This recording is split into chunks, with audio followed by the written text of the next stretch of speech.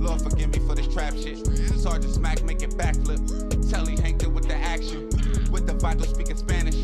Frank Matthews, how I vanish. Poof. Came back like I'm King Tut. Gold BBS is on a beamer. When Fat Cat was 10 queens up. Ball off the profit, not the re up. Fly like Puerto Rican Jesus. Uptown like I'm Baby Maine. Just caught a touchdown from the bay. Chicken Man, see, Chicken Man is a is is, is in our hood. He he like you say, legendary man. Yeah. You know, Chicken Man, a legend, bro. You gotta let us know. If they tipping toes, they nosy. They want they like you gotta ask Polo who is chicken man. Man, Craig Frazier, Bogota. They were getting from Bogota. They used to call that boy Bogota because they say he was getting his dope from Bogota, I'm Colombia. in these concerts again. I'm gonna I'm sit in these s- floor seats again. I'm I'm going to the the NFL games again. I, all the things that I've been done, I'm gonna do it again because I know the way. I got the blueprint to this, so there's no way I could fold when I got the blueprint to stand on top. You know what I'm saying? You know that name was given to me before this. You know what I'm saying? And you know that that that name come with a, a numerous of things. You know what I'm saying? I never gave myself no name. You know, every, all my friends they crown me. You know, the people crown real kings. Nobody a king can't crown himself. You know what I'm saying? So all this all this come through. You know, I'll share on my documentary where these things arrive from. You know, where I get these names in a future date. You know what I'm saying? I'm gonna do the documentary, the man, the myth, the legend is coming. You know. Back in the day, everybody wanted to be like Chicken Man. Back in the day, everybody wanted to be like Chicken Man. Saucy pickle Back in the day, everybody wanted to be like Chicken Man. Nigga, free chicken man, nigga. Blood it in, nigga. Free Dewey chicken man, nigga. It's a new tactic in the war on drugs. We're trying to intimidate the sellers and the buyers. Street sales of crack, a potent form of cocaine, is rampant throughout Florida as well as other parts of the country. Hands on the wall. Do it now. Law officers have been arresting suspected crack dealers and their alleged clients. But undercover drug buys and drug raids have failed to shut down crack sales.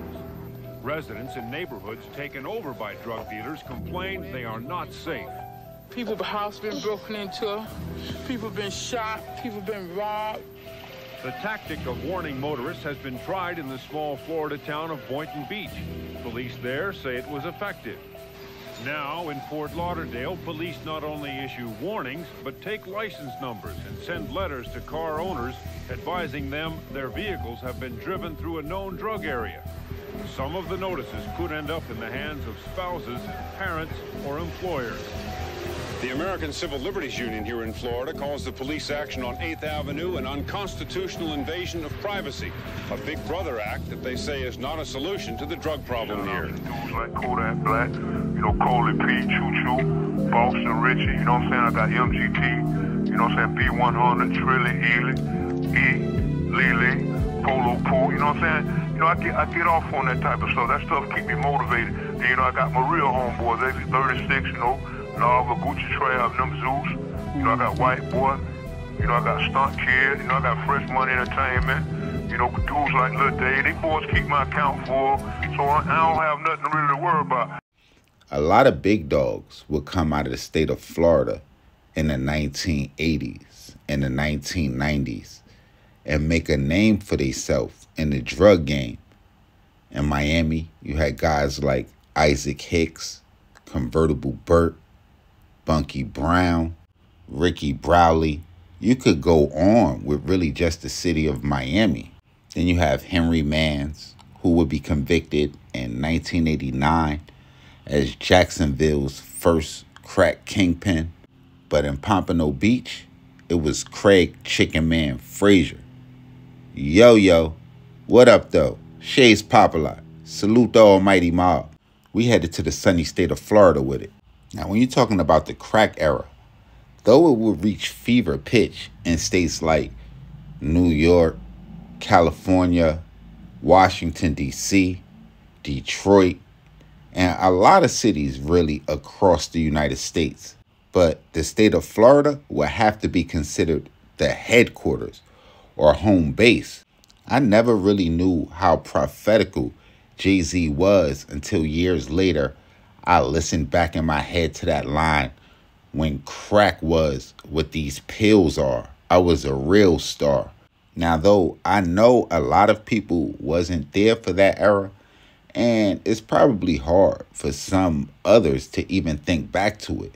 And just in case y'all think I'm just making this shit up, according to the Encyclopedia Britannica, it would state that the increase in the use of crack cocaine would occur in the United States during the 1980s, saying that crack cocaine was popularized because of its affordability, as well as the immediate euphoric effect and its high profitability. And though it is widely speculated, with some people even saying that it was created in a lab in a campus of a university in Los Angeles, it is the Britannica's belief that crack cocaine first appeared in Miami, where Caribbean immigrants taught adolescents the technique of converting powdered cocaine into crack. Now, however it came apart, it would be a gateway to many hustlers as an avenue to fuel their pockets.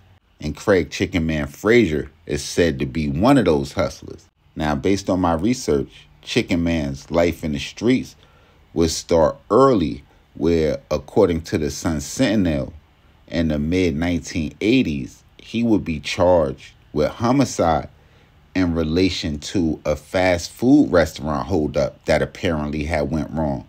The Sun Sentinel didn't go into detail about the victim or the location, but they did say that during the robbery, a woman happened to be shot and killed by an alleged accomplice of Craig Frazier. According to the attorney that represented him in the case, Craig Frazier wouldn't serve a full sentence for that crime, telling the Sun Sentinel that a judge sentenced him to a youthful offenders facility for four years as well as two years probation. Now, what was manslaughter charges in the 1980s would be escalated almost a decade or so later in mid February of 1997 when, according to the Sun Sentinel, Craig Frazier would be involved with the murder of a 15 year old by the name of Melbourne Mossy. They would claim that on February 13, 1997, Mossy, as well as two other juveniles, were breaking into a car in the Villas of Lauderdale apartment complex just after midnight when allegedly Craig Frazier would walk across the street from his apartment and open fire. Now, two of the juveniles would manage to escape unharmed, but Mossy was not so fortunate. He would end up taking a fatal bullet to the head. Craig Frazier would be arrested and charged with second degree murder, and he would be held in the Broward County Jail without bail, as, according to the Sun Sentinel, witnesses would identify him as the shooter, with the motive being unclear. Now, I'm not sure how with eyewitnesses, but a judge in that case would say that he didn't have enough evidence to charge him with first degree murder, going on to give him a $50,000 bond.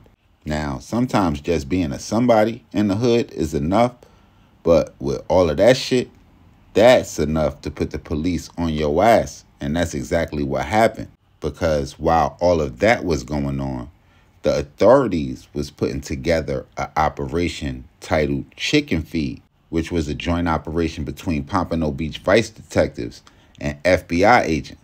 During the operation, they would arrest a 37-year-old Haitian import and export company owner by the name of Yves Messidou, who, according to Pompano Beach Vice Detective Nate Osgood, would be Chicken Man's plug to the work, saying that Messidou would bring the coke in on his freighter from Haiti to the port of Miami, where allegedly Chicken Man and several of his associates were transported to Pompano Beach, saying even further that they had the whole city locked down talking about how he would have a spot in a place called Carver Homes, as well as another spot known as the Ugly Corner near 17th Terrace and Hammondville Road, in the 2100 block of Northwest 9th Street, a spot known as the Hole.